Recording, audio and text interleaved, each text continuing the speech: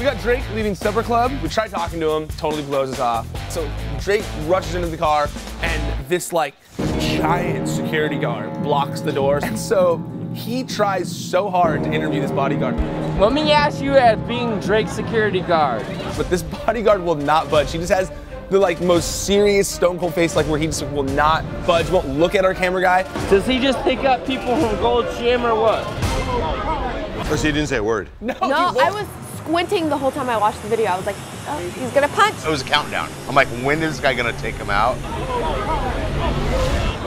All right, you're on that fierce face. I like it. That's funny. This is the perfect case of like, you know how little dogs aren't afraid of big dogs? The little dog just has no idea how tiny he is.